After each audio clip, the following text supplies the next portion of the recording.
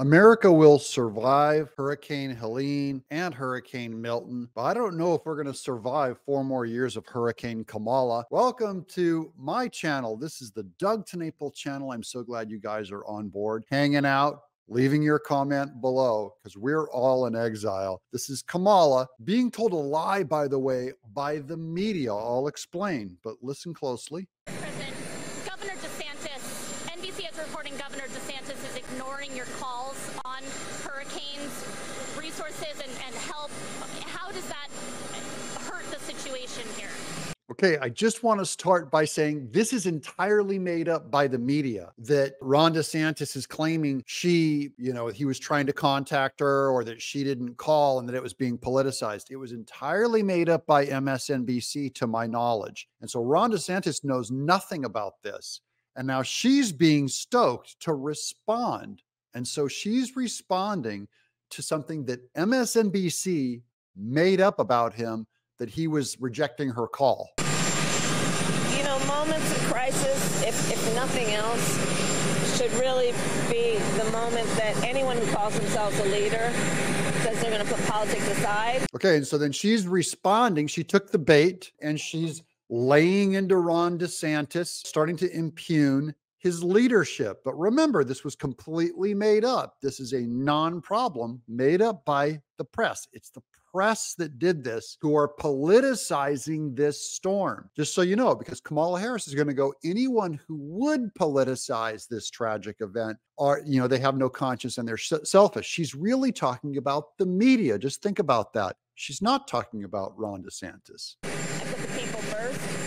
People are in desperate need of support right now. And playing political games with this moment in these crisis situations, these are the height of emergency situations, is just utterly irresponsible and it is selfish. So, who played political games? The media did. So, when she says anyone who would polit- play political games during this crisis are selfish, she just now laid out the media. And I agree with her. She just doesn't, she thinks she's talking about Ron DeSantis. It just doesn't apply to him. And it is about political gamesmanship instead of doing the job that you took an oath to do, which is to put the people first. Oh, yeah, you put the people first so much. Um, if only the media would put the people first. They have no interest. They are completely derelict. I'm going to do a couple more pieces on the media today on my other episodes.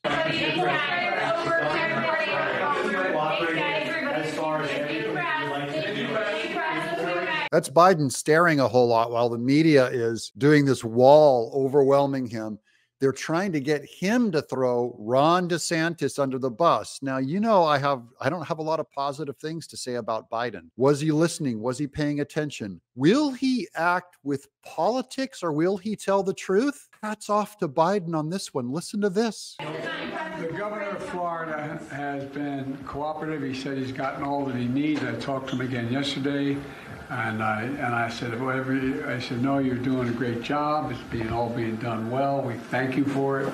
So Joe Biden is above politics on this one. He's showing a care for the suffering people on the ground and championing a political rival, his enemy, Ron DeSantis and saying he did a great job. So, this is about the two different administrations Kamala, who's trying to take over the presidency, Joe Biden, who's the active president, but barely present. And even he knew to tell the truth about Ron DeSantis.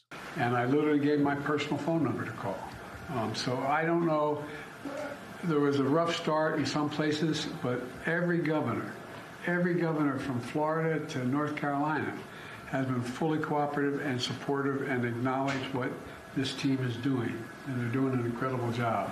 So, hats off to Biden. Like, I never thought I'd say that. This is probably only the second time I've agreed with him in four years, but I have to call it out. There's a difference between he and Kamala. Kamala is a disgusting, imbecilic lizard who fell for a media trap. Biden was given the same trap by the media, the same opportunity to throw Ron DeSantis under the bus, and he didn't. And then they go back to telling their 8,000 questions. We got a lot more to do. Amen. So that's a weird moment. The media are the liars on this one, politicizing a storm because they despise you, they despise America, and now they despise Biden, going, Don't you realize this is an election season, buddy? Um, there's huge turmoil within the Biden administration between Biden and Kamala Harris. Their uh, assistants came to blows, supposedly. That's according to Jack Posobiec. There was a physical alter- altercation between the Biden uh, assistants and, or press people, all of their workers, and the Kamala administration oh, uh, upset over last week when he had his press briefing at the same time as she was speaking in some state on the campaign trail. Stay tuned.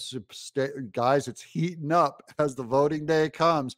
Register to vote, please. Early voting, yes, get on it, my people. Too much is at stake for you to sit around and wait. I'm Doug in exile.